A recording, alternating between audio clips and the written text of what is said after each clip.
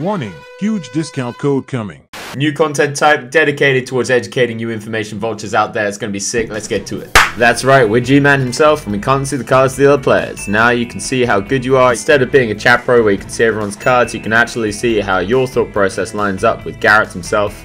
So we see a limp from the hijack from a recreational player. I assume we see a 5x from a recreational player. I'm pretty sure.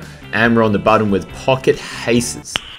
Nice. Now, obviously, we're going to be 3-betting here. If anyone thinks we've got to be trapping, god damn it, you should probably watch some other video. This is going to be a bit too high level for you. But the question is, what size do we go?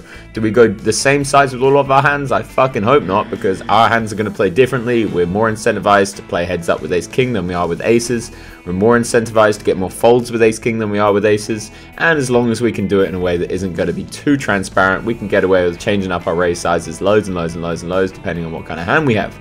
So I'd probably say something around 7, 7.5, 8k here it makes a lot of sense. Generally you want to be going smaller the, the shallower stacked you are and the, the larger the deeper stacked you are. So we want to be building a lot up a lot of pots. There's going to be a lot of incentive for suited hands, pocket pairs, broadways to be calling us.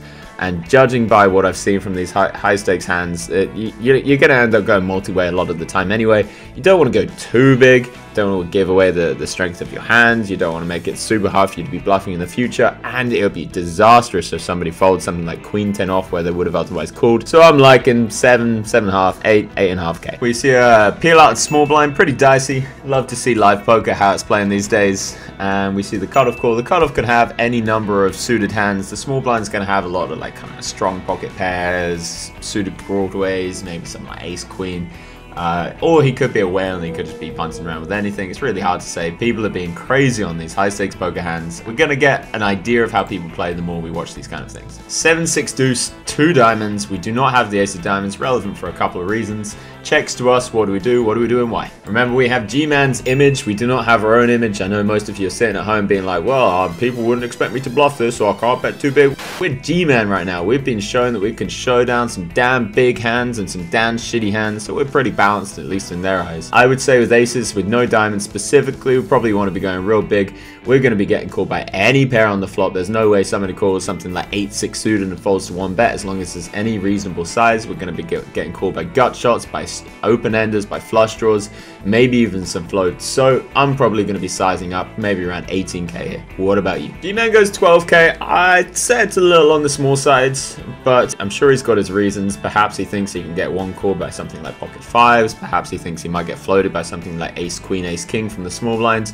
You never know what's in his mind, and there's no correct answer. Personally, I think that just because of the exponential increase of the pot sizes on flop turn river, I think that it's better to just size up on the flop and not worry so much about those mediocre hands and try and just get maximum value against these flush draws, 7 8s, a7 kind of hands. As played, 48k in the pot, what are we going to do on the 8 turn? Of course, there's one type of hand that we have to be worrying about here and, and kind of dictating our strategy around. And what is that type of hand?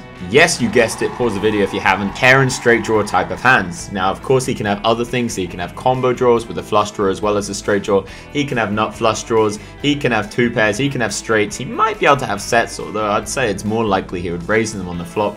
So what are we going to be doing and why? A little strategy, a little tidbit that I like to do in these kind of situations. I like to bet a size that his and straight draws are going to call, but his value hands, like his two pairs and things like that, are going to be raising almost all the time.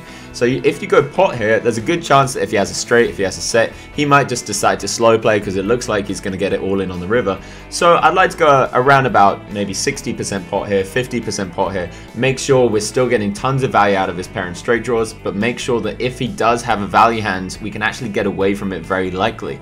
Now, of course, if he's a crazy, crazy whale that's going to be bluffing lows, perhaps we can't fold our hand.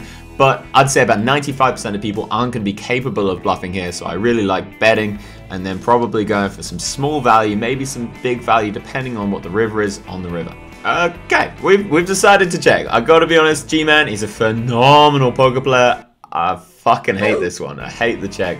Maybe he picked up something, maybe he had a tell, maybe he had his reasons. I just think there's too many combinations of pair and straight draws when he's peeled pre-flop and he has such a wide range as well when he's closing the action. There's just going to be countless combinations of it. There's going to be something like pocket nines, pocket fives, seven five suited, six five suited, eight nine suited, ten eight suited, ten seven suited, ten six suited, ace 9 of diamonds, ace 10 of diamonds, ace jack. There's just so many hands that we can get value from. And if he does have a value hand, perhaps we can just fold to a raise on the turns. I really, really don't like this. But okay, as played, turn is a king. What are we going to do when he checks to us? We have to assume that a decent percentage of the time, if he has a value hand, he's going to be betting. Of course, sometimes he's going to be checking to check raise, but that's c'est la vie, that's going to happen. We have to go for value here. What size are we going to go? We want to make it look bluffy. We have G-Man's image. Personally, I like a size of around 45k. Uh, it actually, the larger you go, it's a little interesting tidbit here again, the larger you go, the easier it is to then fold to a raise because people much more likely to bluff smaller sizes than they are bigger sizes. Now, of course, we are going to be targeting those one pair hands. Perhaps we think that he might be more likely to pay with the kind of pocket fives, pocket nines kind of hands if we bet something like 25k, 30k. But personally, I like to polarize here, represent a bluff, represent the old ace 10, represent the old ace 3 or whatever it's going to be, and just go pot size bet, maybe something like 50k, maybe something like 55k. I think any bigger than that, we start getting way too many folds. But I could see arguments for going absolutely huge. I can see some arguments for going something like 30k.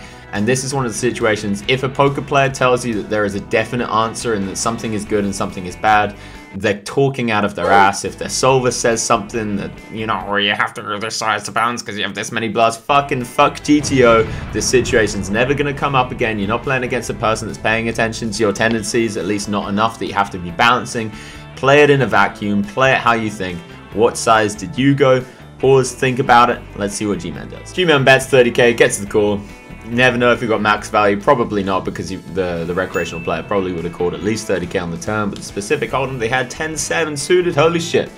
Uh, so I hope you like this kind of content. I've noticed that people have shortening attention spans over the days. Let me know if you like it. Let me know if you prefer a slower type of content. But I'm going to be making a bunch of these and we're going to be playing in the shoes of all of the top high stakes poker players that you know and love. If you like the way I teach poker, I have plenty more content. I go in so much more depth than I just did now. Find it on charliecarrel.com and for the next week you can get a 35% discount off any of my products using the code FUCK GTO, all capitals, no space.